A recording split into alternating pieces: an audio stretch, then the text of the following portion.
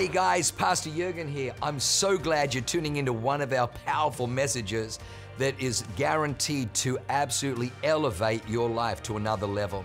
At Awaken, we only want to preach fresh, real, powerful to help you grow stronger in your walk with God, develop your faith so you can take more territory. I'm praying that God blesses you and enriches your soul as you listen to this amazing word from God. God bless you. Tonight, we're, we're, we're going to talk about uh, the title of my message tonight is uh, The Call of a King. The Call of a King. The Call of a King. Uh, the, the Bible tells us in Revelation chapter 1, verse 6, we might have the scripture up there, that, oh, look at that. Okay. And Jesus has made us kings and priests to his God and Father. To him be glory and dominion forever and ever. Amen. He's made us kings and priests. Somebody, somebody say kings and priests. Now, we're gonna, we're gonna lean into the, the king side of our calling as believers tonight. And, uh, eh, you know, it's, it's so awesome how God gives us six books where we can learn from, from kings on the earth in the Old Testament. He gave us 1st and 2nd Samuel. He gave us First and Second Kings and First and Second Chronicles. And, and th- we see a pattern in these six, six books. Number one is there's, there's, there's two types of kings. There's, there's a king that, that would please the Lord and a king that was successful, that had, had a prosperous uh, kingdom. And there was a king, a type of king, that had a, a kingdom that was not prosperous. In fact, uh, the king would, would break down and bad things happen in that kingdom. And, and the, the common denominator was that the kingdoms that were successful and prosperous were kings that chose to walk in the ways of the Lord. And the Bible tells us on the other side that the kings that, that did evil in the sight of the Lord had kingdoms that had no protection, no, no prosperity, and no success. As I see that, gosh, I'm learning that I, I, if I'm called to be a king, I want to be a king that has a successful domain under me. Now, the, the, as we look into what a king is, because we've all been called to be kings, is that a king is a protector, a provider, and a conqueror. Now, you might be here tonight and be like, hey, I'm a woman, okay? I know you're a girl. You're called to be a queen, but you have king like attributes. A king is called to be a protector, a provider, and a conqueror. Tonight, we're going to lean into the conquering side of the king.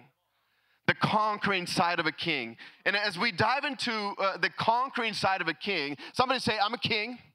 Come on, I'm called to be a king. It's important for us to understand how, how God introduces this whole concept of, of, of the conquering side of a king. Okay, from the beginning, the first words that God spoke to Adam and Eve were be fruitful and multiply, fill the earth, subdue it, and take dominion. That is king like language. Then, then God speaks to, uh, to Abraham. He says, Go to a land that I will show you. And as he goes to the land, he will show him. As, as he's on his journey, God tells Abraham, As far as you can see, I will give it to you. That is king like language, like you're gonna take territory, you're gonna conquer, you're gonna, you're gonna dominate. Which, by the way, is an incredible principle that you and I can, can have and get as far as we can see. That's why I love Awaken Church. Awaken Church could also be called Vision Church. You know, you come on a Sunday morning or a Wednesday night, and I'm telling you, you're gonna leave uh, uh, church with a vision for your life, okay?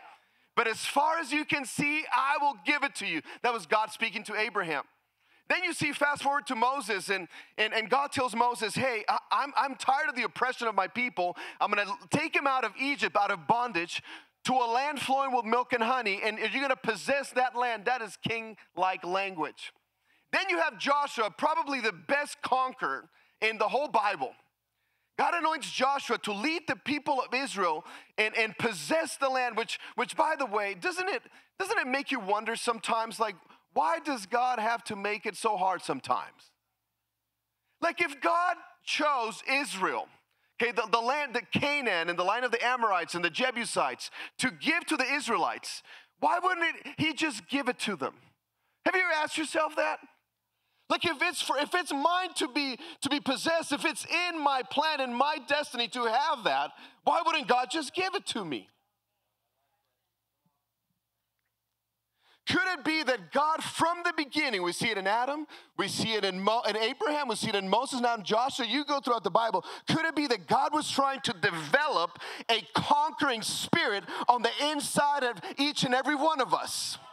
Could it be, I'd just like to propose a question, could it be that there, there's meant to be a conquer that develops and rises on the inside of us for us to fulfill our destiny? And could it be that if not fulfilling our destiny is because God is waiting on us we're not waiting on God. God is waiting on us to step into the conquering side of my calling as a king. Because God could have been like, hey, I called, here's the land, just, just go ahead. But no, Joshua was taking the people of Israel to go and possess the land. And as he's about to cross the Jordan, he says, Sanctify yourselves, for tomorrow the Lord will do wonders among you, which is a great principle. If you want to see wonders in our life, I like to propose tonight as well that we better live a sanctified life. It's not popular preaching, but it's the Bible. Amen. He said, Sanctify yourselves, for tomorrow the Lord will do wonders among you. So the people sanctify themselves, and then Joshua goes on this journey of conquering not one king, not two kings, not three, not five, not 10, not 20, 31 kings. I mean, it's like, okay, we get the message. There's a calling on my life to be a conqueror. You see it with David. You see it with, uh, you know, you, th- throughout all the kings. And then you go into Jesus. Now, watch this. Jesus, he comes to conquer sin and death, which is, he conquered the grave. Amen. Come on, somebody. The ultimate conquering, exactly. He, he comes back and he speaks to the disciples and he says, Hey, I, I want you to be my witnesses for me in Jerusalem, Judea, Samaria, and the ends of the earth. That is king like conquering language. So he, here's Jesus sealing the calling of a conqueror on each and every one of us. When we become believers, this is what happens. You accept Jesus Christ, you, you believe that He's Jesus, He's Lord and Savior, He's King of Kings and Lord of Lords. The Holy Spirit comes on the inside of you. Something gets, your spirit comes alive. Now you're awake and now you can see the kingdom. And you and I become little kings in this big kingdom.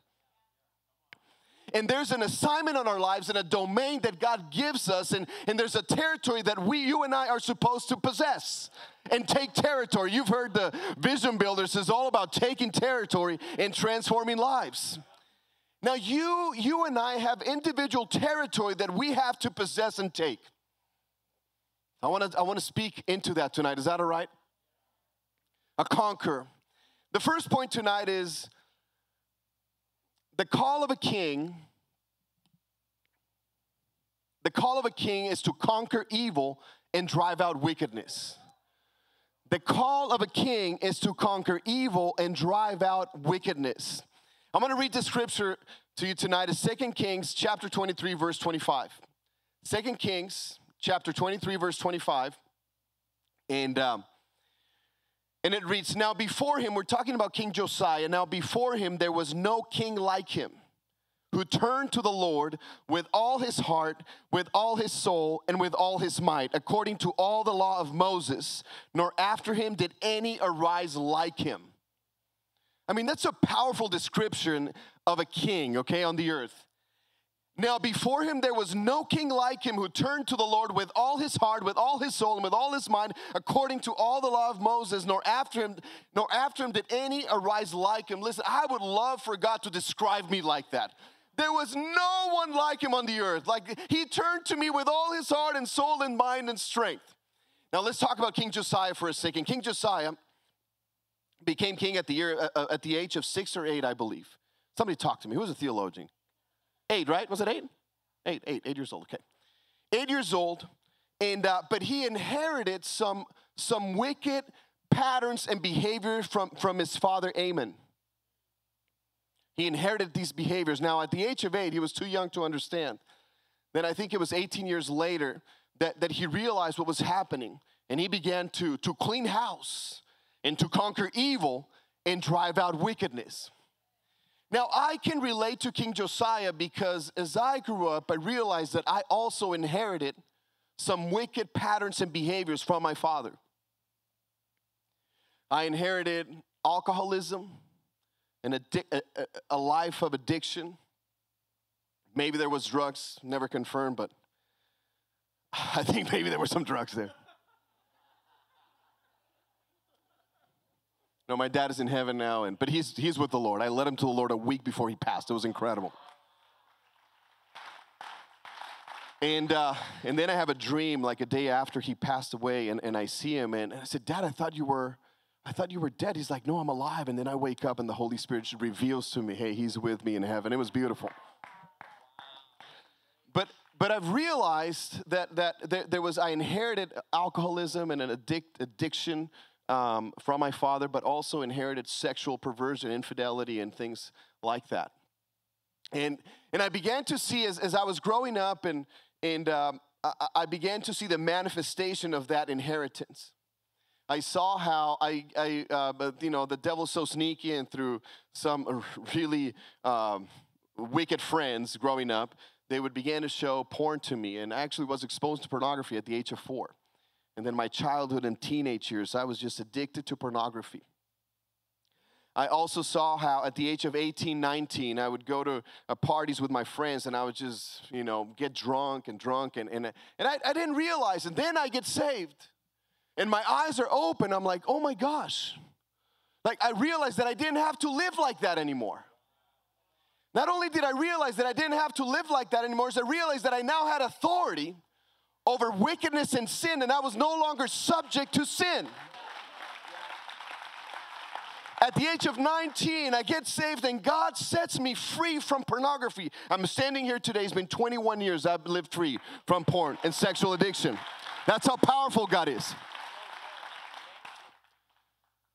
And the same with alcoholism. I, I you know, I, I remember the last time I overdrank, okay? And uh, you can, if, if there's a judgmental part of the service, here we go. All right. It was 2016 when President Trump won. Okay, I see Ohio, bring me another glass, and I see Pennsylvania. I see all these things like, oh my gosh, what happened? I repented. Okay, amen. But I've lived free from alcoholism too. But but but I realized something that as a as a as a father I, I, and as a, as a husband and as a, as a king on the earth, I now had a responsibility, which was to conquer evil and drive out wickedness from my domain, from my family. I realized that I had to become a curse breaker and say, This stops with me. I will not allow my children to go through the same things that I, that my dad and I had to go through. Under the anointing of God and the authority of God and the power of God grace of God. Come on, somebody, and the power of the Holy Spirit, I can see these, this stops right here. I'm gonna live free for Jesus. Come on, somebody. A, the call of a king is to conquer evil and drive out wickedness. As you see it, I love what Pastor Jurgen says what you tolerate, you teach. What you tolerate, you teach. What we tolerate in our homes, we teach. But a king, come on, on the earth, a king that, that, that lives under Jesus, a king that's, that sees evil and sees wickedness, that no longer will I allow and tolerate and teach this to my children or those that I'm leading around me. I'm gonna be like King Josiah. Amen. Point number two is the call of a king is to conquer more territory and expand his domain. The call of a king is to conquer more territory and expand his domain. Look at look at uh, these verses from King David. In 2 Samuel chapter 8 verse 1 it reads, After this, it came to pass that David attacked the Philistines and subdued them. And David took Metheg Ammah from the hand of the Philistines. Now, watch verse 3. David also defeated Hadadezer, the son of Rehob, king of Zobah, as he went to recover his territory at the river Euphrates. Verse 13, and David made himself a name when he, when he returned from killing 18,000 Syrians in the valley of Salt. I mean, somebody say conquer. Now, it, it's important to understand that as we become Christians, there, there comes this, this uh, uh, desire on, uh, uh on the inside of us, this ability to expand and take territory. And I believe that maybe one or two or three or maybe 5% of the people here tonight struggle with this, but I just, just for the sake of removing any shame or any lies from the enemy, I like to, to, to share with you tonight and preach tonight that you've been called to prosper. You've been called to prosper financially. The Bible says that God delights in the prosperity of his servants. And I'm tired of hearing the fake false prophets of the earth saying that we're going in a time of recession and we're in times of uncertainty. How many of you know that the promises of God, come on, still exist today, even in times of uncertainty? And even in a time of famine, I can still prosper because it pleases the Father. Now, watch me. It pleases the Father when his children prosper on the earth. Second Kings says that Jesus, even though he was rich, he became poor, so that through his poverty I might become rich. Now, this tweaks you a little bit. It's okay, let's go there, okay? What does it mean to be rich and what does it mean to be poor? Pastor, you're gonna taught this many times. To be in the Hebrew, to be rich and to be poor. To be poor is to not have sufficient resources to meet your own needs and the needs of others. To be rich is to have sufficient needs, resources to meet your own needs and the needs of others. Listen, I'd rather have that life. I'd rather have the life. The, the Bible says the blessing of the Lord makes one rich, and God adds no sorrow with it. The Bible says that God will supply all of our needs according to his riches in glory by Christ Jesus.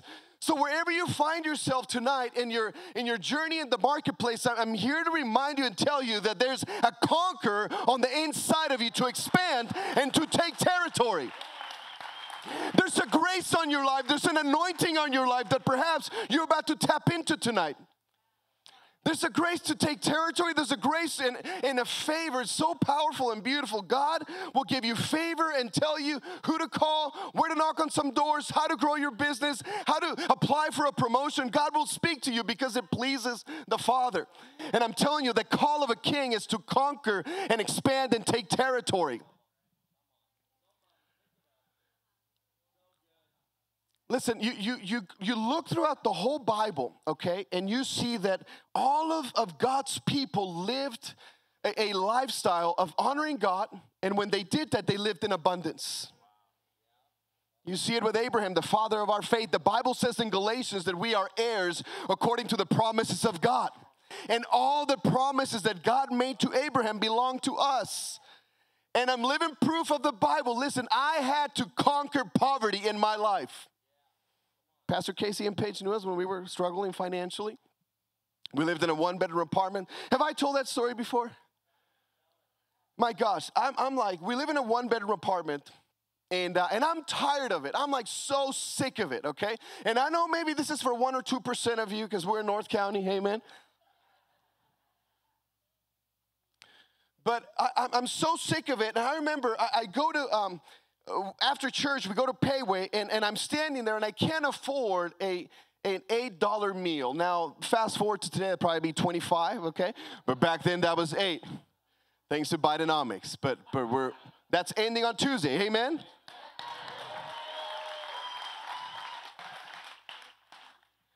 So I'm so I'm so sick of it, and I'm I'm just leaving. I'm like I, I look at my bank. I'm, I don't know if that's ever happened to you. Don't raise your hand. You can because the fresh church is fresh, and powerful. I'm in line, and I'm like looking at my phone to see if I had enough, you know, on my bank account. And then the internet was like struggling. I'm like, come on, online banking. I don't want to get to the front of the line and then decline. Oh, I don't know what happened. Uh, I think it's fraud or something, you know. So I'm, I'm like, I see there were like overdrafts. So I, I go, I leave, and you know, some of my friends start like, "What? You're not going to stay with us?" Thankfully, I lived uh, within walking distance, so I walk to my, I'm on my way to my house, and in the middle of it, I feel the Holy Spirit speak to me, and I'm like, God, I'm so tired of being poor. That's not what the Bible says. I am your servant. I am your child. I know the scriptures, and I tell you, I never felt poor, even though I was going through poverty. Poverty is a mindset that, and, and, a spirit that you can embrace, but I always rejected it. I said, I'm not poor, okay? I know I'm going through it right now, but I'm not going to embrace that mindset. Amen. I said, God, the Bible says, and I began to quote all the scriptures. And Holy Spirit, what is this? I'm your son. Why am I going through this? And I just all of a sudden I just feel like the open, the, the heavens open, and the Spirit of God just hits me, and I feel a peace. And right then I knew that I'd be okay. So we live in a one bedroom apartment, and then, you know, we, um, it's part of my story later, but we, we launch a business, so we have to move down south, and, and, uh, and we're down south, and we're looking for a house, and, and, uh, and, and, you know, we find this house, and we're looking in the house, and I was celebrating. It was, there was two bedrooms in the house. It was not our dream house, okay, but it was a house. And I'm like, I'm so happy that I'm no longer in a one bedroom apartment. I'm in a house, and I'm looking, and I'm walking in, I'm going to the, the master bedroom, and I go in the master bedroom, I'm like, this is amazing. I'll have a master bedroom. Come on. And I'm like, babe, come here. Babe, come here. And I realize she can't hear me. I'm like, oh my gosh, I'm in a house now and my wife can't hear me. I'm like, babe, come here. Because when I was in a bed, one bedroom apartment, I, I knew that if I was in the bedroom, she was there. If I was in the living room, she was there. If I was in the bathroom, she was there with me. It was like the kitchen and the bathroom, we were all together all the time.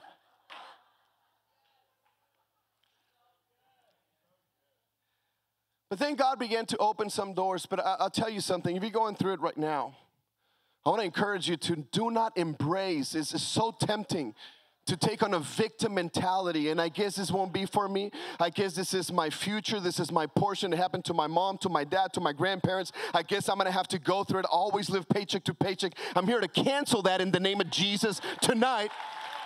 And for you to take, come on, somebody, on the anointing that God has for you, you are called to conquer expand and take territory. It's who you are. You can't fight it, it's in your DNA. As you get saved, there's royalty in your veins, and you can't help yourself but to think, how can I grow? So, my question would be if we're not thinking like that, I wonder what happened. Maybe you need a friend to just tap you on the butt and be like, come on, wake up. You're a conqueror. You're called to expand. Can we can we go? And I'm thankful for Dr. Madman. Every Sunday, every Wednesday, it's like, wake up. I love it. Can we go a little deeper tonight? yes. I, I, I want to go into what are some of the, the, the attributes that make a king and a conqueror effective, okay? Here's, here's the first one an effective is point number three. An effective conqueror understands that God works all things together for good. An effective conqueror understands that God works all things together for good. This is huge because you, will understand that as you go on a journey of conquering, listen, I've been in business for 13 years now, actually 14 years. And there's like, I've had to fight some battles, but I understand that God works all things together for good. It doesn't matter what I'm facing. If that is in the back of my in my subconscious, if that is in my in the bedrock of who I am, that is in the, one of the foundational pillars of my faith. It doesn't matter what I go through. God works all things together for good. And I, I, learned this when uh, when we were going through it, and um, it, like God was shutting some doors, and we didn't we didn't have uh, uh we weren't making much money and things weren't working out. And I began to open my, I'm like, what is happening? Like, isn't it, like, doesn't it stink when, uh, when, when God shuts doors or like, or like,